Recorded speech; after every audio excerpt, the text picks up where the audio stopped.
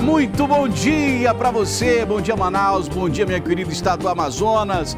Hoje, segunda-feira, dia 23 de dezembro, você está com, acompanhando imagens ao vivo desse momento da Avenida de Jalma Batista, trânsito tranquilo, né? Manaus amanhece com uma temperatura agradável de 24 graus aproximadamente, tem uma previsão é, que costuma estar tá acontecendo ao longo da semana. E aí você pode ter chuva a qualquer momento durante esta segunda-feira, mas a gente quer falar de coisa boa, a gente espera que você tenha uma segunda-feira maravilhosa, o céu nublado, olha só, pode ter chuva aí, hein? Então vai se preparando aí, meu amigo, minha amiga, vai se preparando, sai com guarda-chuva, sai com uma sombrinha, sai com uma capa de chuva, porque pode chover ao longo do dia de hoje, em 6 horas e 2 minutos. Vem pra mim, vem pra mim, vem pra mim que eu quero agradecer eu quero agradecer desde já a participação, o carinho de todos vocês, né, que têm acompanhado 6 Horas Notícias. Muito obrigado, muito obrigado pelo carinho, pela audiência. Inclusive, me traz aqui, Marquinho. Vamos começar aqui mostrando um vídeo que foi enviado para nossa equipe de produção. Aumenta o som aí, GG. Aqui, ó lá no fundo lá, ó. Ó lá no fundo, ó. Ó. Aê, Márcio. Em frente à banca, pronto. Tá todo mundo ligado aqui. Ó lá no fundo lá, ó. Olha lá no fundo, ó. Ó. Aê, Márcio. Em frente à banca. Pronto, tá todo mundo ligado Olha aí, aqui. todo mundo assistindo o programa lá na Feira Manaus Moderna. Obrigado pelo carinho e pela audiência de todos vocês aí da Feira Manaus Moderna. Aí você pode participar do programa, hein? Inclusive, quero a sua participação aqui através do nosso WhatsApp. Grava um vídeo, manda pra gente, fala de denúncia, fala da, da sua sugestão, seu comentário né, do programa, o que, que você está achando do programa. Então, manda pra gente, o número é esse aí, ó, 993 27 6649, 993 27 6649. Lembrando que nós estamos também no Facebook, né? Você pode digitar lá TV em Tempo Online e a gente está transmitindo o programa para o mundo inteiro. Se você quiser compartilhar, é só copiar o link e enviar para os seus amigos aí que estão acompanhando pela internet, tá bom? 6 horas e 3 minutos, vamos começar o programa de hoje falando de trânsito. Vamos lá, vamos lá com a minha querida Mariana Rocha, que está aqui comigo, grande amiga aqui, jornalista aqui da casa. Cadê? Traz a Mariana aqui. Cadê? Traz aqui, traz aqui a Mariana aqui, ó. Olha, meu amigo, olha o sorrisão da Mariana Rocha. Meu Deus do céu, uma jornalista experiente. Mariana, seja bem-vinda mais uma vez aos 6 Horas Notícias. É um prazer imenso ter você aqui, né? Eu que sou, tô chegando agora, né? Que essa casa aqui era sua, esse lugar é seu, mas muito bom dia para você. O que, que você traz de informação pra gente nessa segunda-feira maravilhosa? Oi, Márcio, bom dia. O prazer é todo meu de estar de volta. Que saudade aí dos nossos telespectadores, né, pessoal que sempre tá com a gente aí todo dia, ó Beijo para vocês, bom dia, um ótimo início de semana. A gente está aqui na esquina da Avenida Djalma Batista com o Boulevard. Ô, oh, coisa boa se o trânsito na Djalma fosse assim todo dia, viu, Márcio? Mostra aí, Carlinho. É que ainda tá cedinho, né, Márcio? Então o pessoal ainda tá acordando, tá assistindo 6 horas notícias aqui com a gente, tá começando a sair de casa, as crianças de férias. Então aí muita gente de férias também já viajou. Por isso o trânsito tá muito tranquilo na Avenida de Djalma Batista, que é uma das principais avenidas de acesso ao centro da capital. Vem comigo para mostrar o Boulevard aqui, Carlinho. Olha aí o Boulevard tranquilo também, né? Fluindo o trânsito tranquilamente. Aliás, é cedinho ainda, mas olha, a movimentação deve ser bem maior mais tarde, principalmente nas proximidades dos supermercados, nos centros de compras. Daqui a pouquinho a gente vai lá para o centro de Manaus. Eu vou entrar lá da Marechal Deodoro ao vivo do meio do povo, porque é assim que eu gosto, viu, Márcio? Para mostrar a movimentação no comércio. Pessoal já recebeu o 13 terceiro salário, pessoal tá com dinheiro no bolso, vai comprar as roupas aí do fim de ano, vai comprar os itens da ceia e a gente já orienta, viu? Pessoal que vai para o centro ou que vai para os supermercados, sai de casa cedinho, viu? Porque realmente promete hoje o movimento nessas áreas da cidade. Por enquanto é isso. Tempo chuvoso hoje, como você mostrou no iníciozinho do programa, e trânsito tranquilo no momento. Mas depois das sete da manhã a coisa já começa a complicar. Daqui a pouco eu vou para o centro, Márcio, para entrar contigo e mostrar o movimento de lá, pessoal que está fazendo as compras de fim de ano. Eu volto com você aí no estúdio. Grande Mariana Rocha, obrigado aí pelas informações. É, gosta dessa energia, né? Ô, energia boa essa. Já já a gente volta com você. Se você é, é, acompanhar alguma coisa no trânsito aí, alguma é, irregularidade, algum, alguma situação no trânsito, Mariana, você tem prioridade aqui. Pode trazer informação pra gente, viu?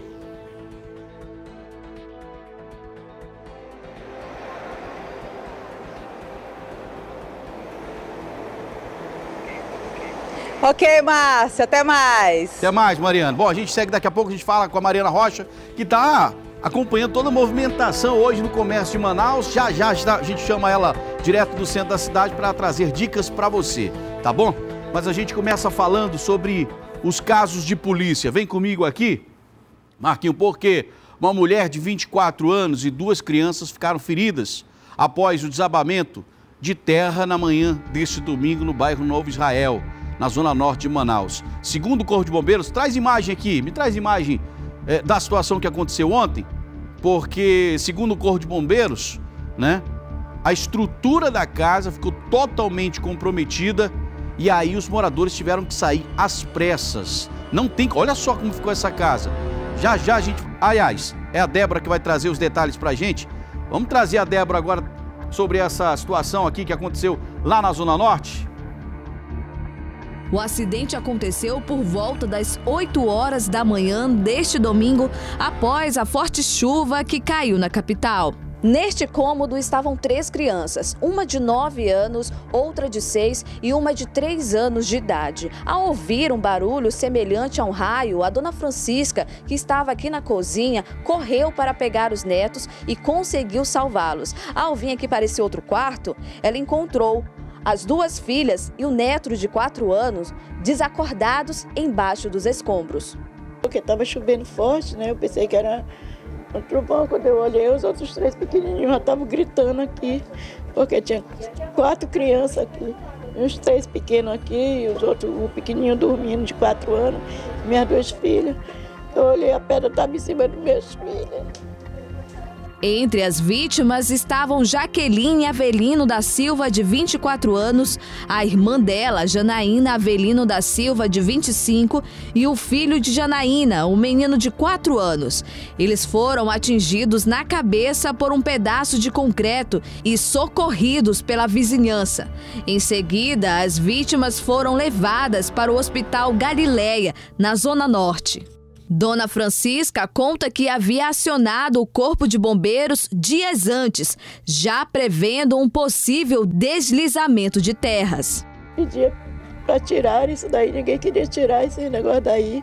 O corpo de bombeiro veio, o rapaz só olhou isso aí, falou que não podia fazer nada porque não era no meu quintal, era no quintal deles aí. A família, que perdeu tudo, agora pede qualquer tipo de ajuda. Quem quiser ajudar, basta entrar em contato pelo telefone 999968225. Olha, é muito triste essa situação, né? Porque a gente sabe que em muitos casos as pessoas não têm moradia e vão construir a casa em qualquer lugar. Né? Mas aí é, é importante observar o local onde você está construindo a casa. Porque se for em área de risco, é muito complicado. É muito complicado, porque cada vez mais, principalmente nessa época de chuva, a situação fica muito mais perigosa. Muito mais perigosa. E aí, nesse caso, graças a Deus, graças a Deus, os ferimentos foram leves, a perda é mais material aí nesse caso da casa, né, do que em relação à própria vida dos moradores. Era a senhora, duas crianças que se saíram saíram feridos, infelizmente, mas felizmente, na verdade, felizmente saíram feridos, porque poderia ter acontecido uma tragédia. Como a gente já noticiou várias vezes aqui, casos de morte em desabamento, né? E essa aí a gente já pode perceber, como a própria moradora falou, que é uma área de risco, já tinha alertado algumas, alguns órgãos de segurança, porém não deram muita atenção. E aí aconteceu esse deslizamento nessa área. E agora, claro que a, a casa tem que ficar interditada, os moradores não podem voltar para o local, porque a casa corre risco de cair, né? E está aumentando cada vez mais o período de chuva. A gente traz a, a previsão do tempo aqui justamente para você ficar alerta. Né? Porque muitas vezes você olha assim, ah, não, tá, não vai chover, não vai chover, mas a previsão diz que vai chover.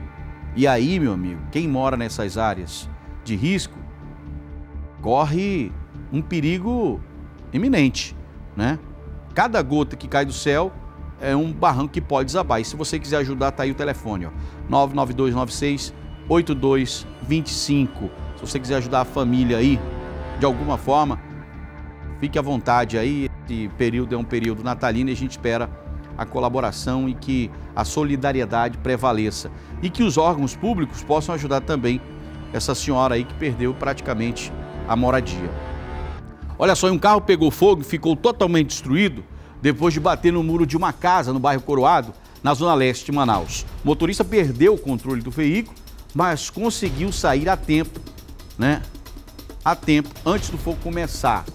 Claro, graças a Deus ele nos firma. Mas olha só como é que ficou o estrago. O estrago do veículo aí, ó. Bateu no muro e começou a pegar fogo. Né? Uma parte do muro também caiu com a força da colisão. Você está vendo aí o trabalho do Corpo de Bombeiros que foi acionado, né? E o morador, imagina, imagina o susto que esse morador tomou quando esse veículo bateu no muro da casa dele. E aí começou a pegar fogo. O motorista saiu ileso e foi rápido, saiu logo porque poderia ter acontecido pior nesse acidente. As perdas são só materiais. E o, o motorista, segundo informações que chegou para nossa reportagem, é, vai arcar com os prejuízos aí na reconstrução do muro desse morador aí que teve parte do muro destruída, acredito que o portão também ficou danificado. E aí os moradores aí dando apoio, Polícia Militar e o Corpo de Bombeiros. Graças a Deus, só perdas materiais. E olha só, agora a gente fala dos casos de polícia, hein? No bairro Compensa, mais um crime, mais um crime. A, a vítima havia acabado de sair da penitenciária. Quem traz os detalhes dessa ocorrência policial é a Débora Martins aqui na tela do 6 horas. Exatamente. O caso aconteceu por volta de uma e meia da madrugada deste último sábado. A polícia foi acionada com informações de que um homem havia sido alvejado com oito disparos de arma de fogo.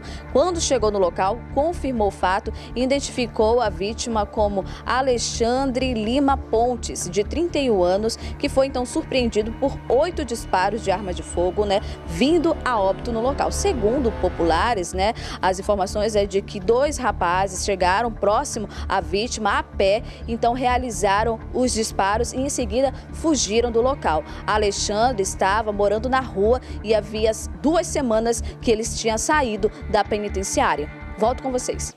Obrigado, Débora. Agora me traz imagem aqui, Marquinho. Joga na tela dos 6 horas uma situação que aconteceu no bairro Monte das Oliveiras. Enche a tela aí, presta atenção nessa história, hein? Um, um jovem de 17 anos foi executado. 17 anos, gente menor de idade, foi executado na madrugada de sábado, lá no Monte das Oliveiras. E segundo a polícia, antes de receber vários tiros, ele foi amarrado, amordaçado, torturado, típico de, sabe aquela acerto de contas? Sabe aquela situação do acerto de contas entre facções? Pois é, o crime tem todas as características de acerto de contas. Mas quem traz os detalhes para a gente também é a Débora Martins aqui na tela. Exatamente. Os moradores das proximidades onde o corpo foi encontrado contaram à polícia que ouviram disparos e em seguida gemidos. Foi quando então decidiram acionar as autoridades policiais que estiveram no local né, e encontraram o homem ainda com vida, agonizando e de imediato chamaram o serviço de atendimento móvel de urgência, o SAMU, porém o homem não resistiu aos ferimentos e morreu. Peritos criminais que foram chamados para coletar vestígios para o inquérito policial informaram que o homem foi atingido com três tiros na cabeça. Estava com as mãos amarradas para trás com fio e também possuía um pano na boca. A delegacia especializada em homicídios e sequestros foi acionada para atender o caso e já iniciou as investigações. O corpo foi removido pelo Instituto Médico Legal, onde aguarda pelo reconhecimento da família. Um outro caso de homicídio aconteceu também por volta das 18 horas deste sábado, né? Um jovem de apenas 17 anos, identificado como